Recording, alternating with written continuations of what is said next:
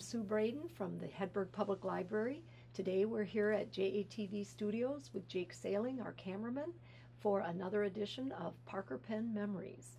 Uh, this is a project where we've invited uh, former Parker Pen employees and friends of Parker to uh, visit with us and share their memories of why Parker Pen is important to them. Today we're with Jackie Wood, who brings a unique perspective. Jackie's father was employed at Parker Pen. Jackie's a Janesville native and also a local businesswoman. Uh, she recently hosted a an exhibit of the Parker Pen 125th anniversary at the Old Town Mall uh, in downtown Janesville. And that was sponsored, uh, put on by the Rock County Historical Society. And Jackie hosted the exhibit at her building, and we're very happy to have her with us here today. Good morning, Jackie. Good morning. Good morning, Sue. Happy to be here. Thanks for being here. Jackie, uh, you're going to visit with us and explain about your, your dad and uh, and his work at Parker and some other cool things. So I'm going to let you go ahead and, and tell us about uh, who your dad was, what his name was, and when he worked at Parker, and, and what was his involvement.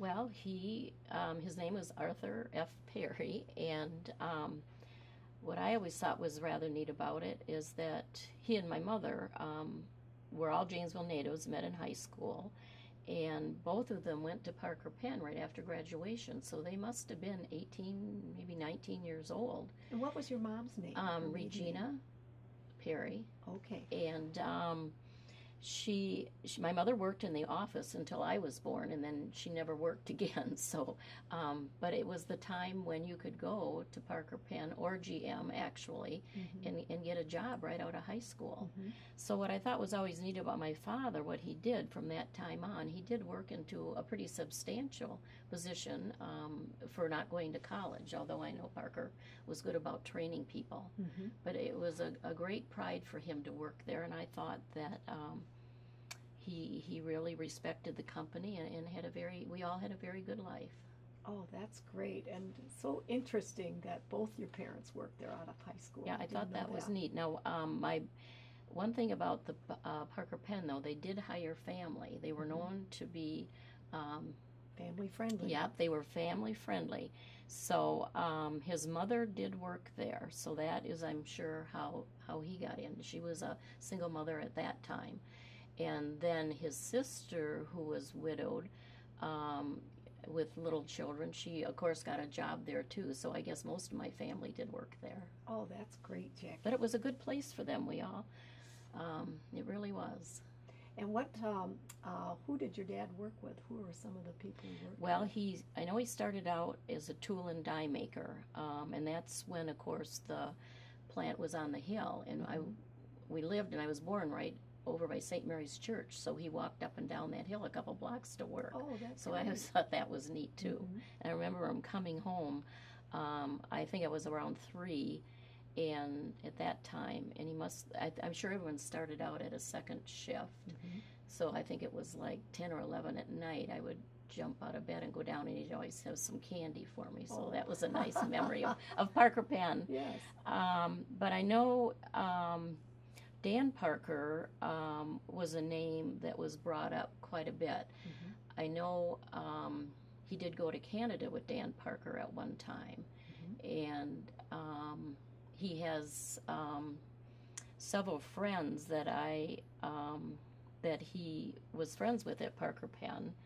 Um, and most of them, I think they started out of high school as well, mm-hmm. and they stayed fast friends and they um, most of them I think worked up into supervisory positions. Oh, that's great. So I think it was the time you could do that, of course. Right. But I think Parker was good about his training, and mm-hmm. I think they stress perfection. Mm-hmm. I do, and I think that gave people pride in working there as well. Mm-hmm. Jackie, uh, you mentioned he started probably on the night shift or mm-hmm. second shift. Did he get to the day shift eventually? He did. He did. He worked up um, as I said, he was a tool and die maker, and then um, then he became a chief process engineer, and that was when Arrow Park was built. Oh. And um, he worked up um, wherever the engineering department was, and I that is when he went to Canada with Dan Parker, and after that, um, he worked as a supervisor for a short time of the metals department. Okay. So he did work up into you know some supervisory Mhm. roles. hmm Oh, that's great. Uh, I was curious too. How did you come about to host that inaugural um, that exhibit for Parker Pen? at- Well- at their anniversary. Okay, Newell Rubbermaid called um, Michael Reuter, Mm-hmm. Our director of the Rock County Historical Society, and asked if they would create an exhibit and put on an event. They helped to fund it. Um, and we had other sponsors as well, but because it was a big undertaking, we had over 125 people. And the purpose of it was to celebrate the 125 years of Parker Pen, Mhm. but to also get the Parker employees together, um, the former employees, and they came and they loved it. And as you know, the exhibit is so fantastic. And that was created by our archivist and by the staff at our Rock County Historical Society. And it's very extensive, as you know. Well, we're so fortunate too to have such an organization here, and Mhm. and your support is very much appreciated. And now the exhibit has moved over to uh, BMO Harris Bank. Yes, it has. North Main Street. Till next November. Um, oh, I guess how I, I got involved is I was president of the board when they called. President of the the board. board of the Rock County Historical Mhm. Society when Newell Rubbermaid called, and so that, and then I had the building, and Michael Reuter, the executive director, said, "Well, why don't we have it accessible to the public? Mhm. We'll put up the exhibit, we'll have the event, but then this will be accessible to the public." So it is. Uh, it was a year, a little over a year at Old Town, and now it is at um, BMO Harris Bank. Oh, that's just wonderful. And um, uh, I, I attended the opening at when it was at Old Town Mall, and I was so impressed with the number of people there Mhm. and of all different eras, having worked at Parker Pen, and um, and the response was just tremendous. It was. It was. And it was a fun night. And and one thing that really impressed me was the people that came from Newell Rubbermaid. They had about six of their executives there, as well as Geoff Parker. He's Mhm. always been great to to attend these things. He's the one I think keeping really the the heritage of Parker Pen alive. Yes. And but the Newell Rubbermaid people um, made the point of letting us know that they were going to keep Parker um, in a very, you know, his reputation and um, its memory in a very high place in their company. They formed a special place It's just um, for Parker Pen within their company, and they're just certain people that do work in that area. And I thought that was really great because the other companies that bought them just kind of shuffled them in with everything else. Mhm. So now there is, um, I guess you call it a division of Newell Rubbermaid that is strictly Parker Pen. Oh, that's and it's going, I mean, worldwide. They are manufactured in France, as you know, and um, with the archives, as you also know, still in England. But the sales overseas are, are phenomenal, really. So it's a very vital company still. That's great, and and it's nice that they uh, keep that heritage alive and acknowledge where Parker Mhm, started. mhm. Um, why why do you think people are so passionate about Parker Pen? Well, I, I tried to think and think about that. Anna Marie Lux asked that question when she did her article too. She said, "Why did this mean so much?" Because I will say, when we had the the party, the celebration for the 125th anniversary, I everyone I talked to of the former employees, they all said, "We're we're a family. We're a family." And then when it did finally close, it was almost like a death to them in their family. So I thought that was pretty powerful. Um, and says a lot for the company, but I think it offered a good good lifestyle. Um, your family members always got hired, as well as you knew your college students could have summer work, Mhm, and um, people stayed close outside of work as well. Because my father's um, friends and really our family's social friends were the other Parker Pen employees Mhm. that he worked with. Um, we went to each other's birthday parties, and the men hunted and fished together, and seemed just like a really um, a good, you know, bunch of people that just Mhm. loved working together and also loved recreating together. There was also the Parker 51 Club, Oh, um, which um, was up. Well, it's where they built the um, one of the city buildings now. It's just up from Arrow Park. It was up from Arrow Park, kind of in a wooded area. and it, it was just for men. You could do that in that time, just have Mhm. men's clubs. So that was kind of a social um, place where the employees could socialize as well. But um, I think in the beginning, I took this off of the exhibit. Um, I think George the First went out of his way to provide clubs and activities for the Mhm. employees, and I want to read this off because it just tickled me. All the things they had. Um, well, number one, the Parker Pen Band that was very popular, and that was so much supported by the company Yes. They all work there, but they got this band together, and I know that Parker Pen in the beginning bought all the instruments Oh, for wow. the employee, the people that were in the band, and I, they got to be so popular when they hired someone.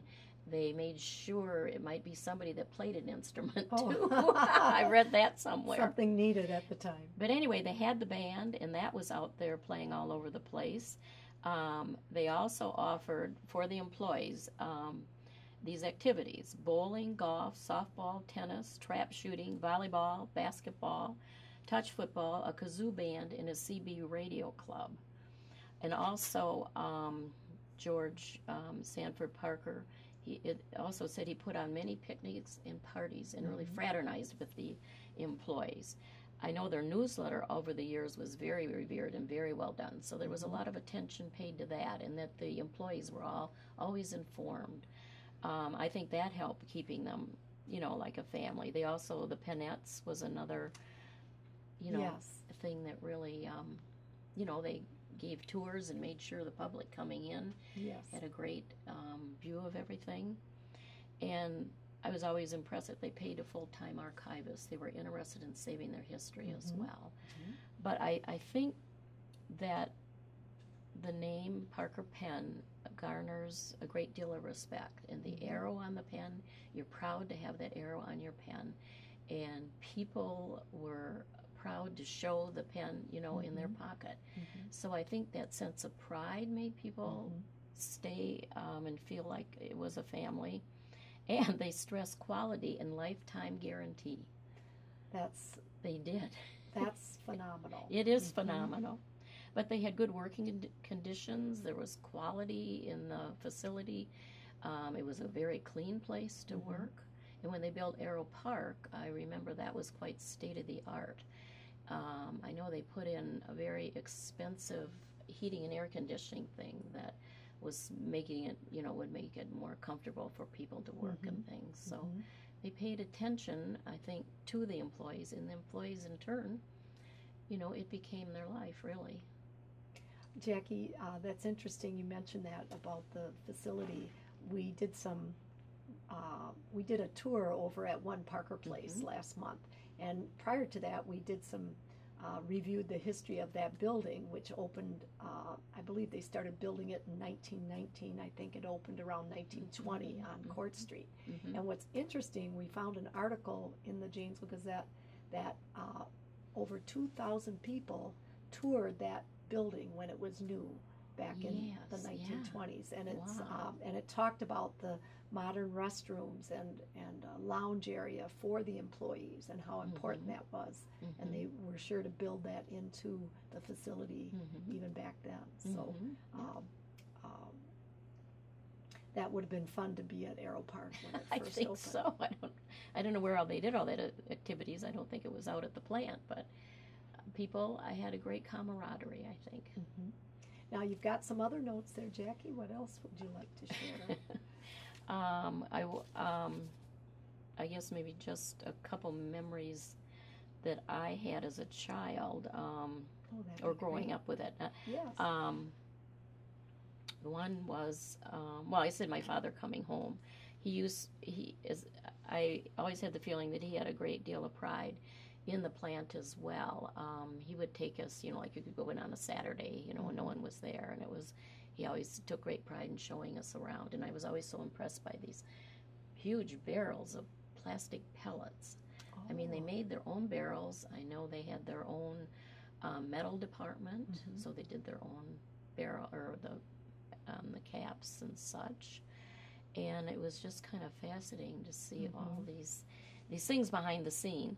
Um, I remember sitting on a chair at the opening of Arrow Park with all and listening to all the speeches, and Oh. and the flags were so impressive, and they still are. In fact, Mhm. the flags are still up at um, Old Town Mall, Oh, they are. hanging Good. around the the front um, right. Main Street area there, and we're going to be putting up an explanation of each of the countries, because what they did, they had a flag from every com- country and a stone beneath it, Mhm. indicative of that country here.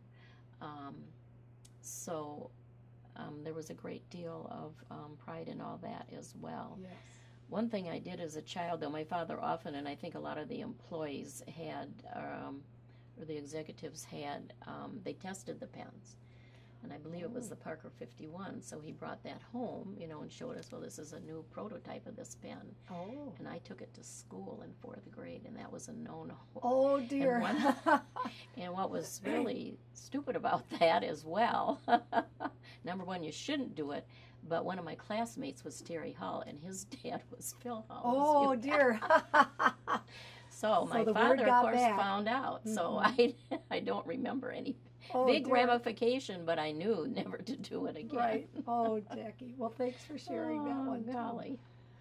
Now you brought um, a desk set. Was that your father's desk Well, set? his name is on it. I guess they would have given it to him. I know they at some point Mm-hmm. with a plaque with your name on it. This is a little pamphlet from the 125th anniversary that was at Parker Pen. Yes. And these, of course, were handed out to everyone. Yes. And um, it added to um, the whole, I think, evening was very, very well done. It was very well done. In fact, that's the night we met Genevieve Joyce. That's right. And she was there with her great niece, Jamie Swenson, who uh, works here at the library. And so, as I was greeting Jamie, she introduced me to her aunt, and uh, we were so impressed with her uh, spunk and, and knowledge and, and memories. And uh, she was the very first person we visited with about their Parker memories. And so that, uh, so I think between your exhibit and Jen, Mhm, Jen Joyce, mhm, that's what helped mhm, get the ball mhm. rolling with our, our project here. Uh, Jackie, I'm curious, do you have a favorite Parker pen well, or a I'm- couple of favorites? well, I, I'm in the. They asked us that and filmed it for the interactive exhibit, oh, which is also part of the um, the exhibit. You push a, it's like a little computer thing, and you push a mm-hmm. thing, and it's got some neat things on it.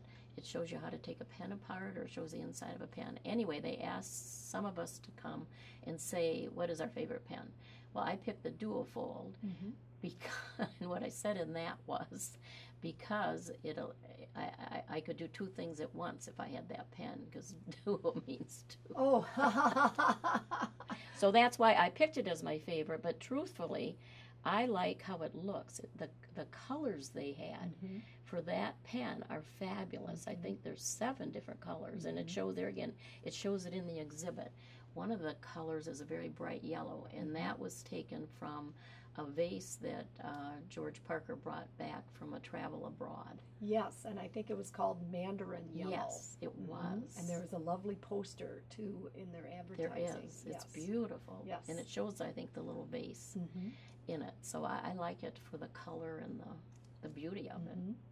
We had a, a cute story, and if I've already mentioned this in one of the other the tapes, but I work at the part of my work at the library involves uh, working at the information desk and helping people uh, with their questions. And a woman came up to the desk, and she was new to Janesville, and she wanted to register to vote, which you can do here at the library. And uh, we gave her the form, and she Mhm. pulled out this lovely Parker Jotter pen and Mm. the uh, top half was the brushed silver, I think, and the bottom half was kind of a powdery pink. And I complimented her on the pen, and she's and she had a bit of a, a southern accent. She said, "Well, you know, I just moved here. This is my favorite pen. I've had it all my practically all my life, and I didn't know till after I moved to Janesville that this is where Parker pens were born." Wow. And so she said, "This makes it extra special for me." oh, So- wonderful, wonderful.